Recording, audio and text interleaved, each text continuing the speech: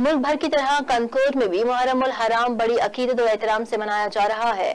अजादारों की जानब से नवास रसूल हज़रत इमाम हुसैन अलैहिस्सलाम और इनके साथियों को खराज तहसीन पेश करने के लिए मुख्त मकाम पर सबीलों को अहतमाम किया गया। इस हवाले से मजीद तफसी जानते हैं। कनकोट से हमारे नुमाइंदा मीर अली अकबर बंगवार से जी अली अकबर। जी जी, बिल्कुल, इस वक्त मैं मौजूद हूँ अलम्बरदार रोड के मकाम पर, जो है मुल्क की दीगर शहरों की तरह कंदकोट ज़िला कश्मीर में जो है महरमुल हराम बड़े अकीदत व एहतराम से मनाया जा रहा है। मुख्तलिफ़ पॉइंटों पर जो है यहाँ मोमिन की जानब से सबिलों और लंगर लिहाज का अहतमाम किया गया है। अलम्बरदार चौक पर मौजूद हूँ, इस हवाले से मोमिन हमारे साथ मौजूद है।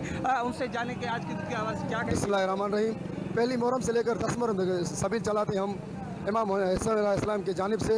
उसके काफ़ी जो इमाम हैं, उनकी ड्रेसिंग पेश करते हैं हम। यहाँ पर जो है, नंगर न्याज भी होता है, सबील भी कैंप चलाते हैं हम, पहली दस मुहरम तक। इन क़यामत जारी रहेगी। हमारे साथ वो इंतजामिया बहुत तावन करती है, मीडिया वाले हैं। इंतजामिया हो, पुलिस हो, रेंजर्स हो, आर्मी हो, बहुत हमारे साथ तावन करते हैं। जी बिल्कुल आपने मोमिन के बातें सुने, उनका यही कहना है कि यकम मुहरम से लेकर जो है दस मुहरम हराम तक जो है हज़रत इमाम हुसैन आसमाम और उनके साथियों को खराज तहसीन पेश करने के लिए सबिलों और नज़र लिहाज का अहतमाम जो है वो किया जाता है। जी।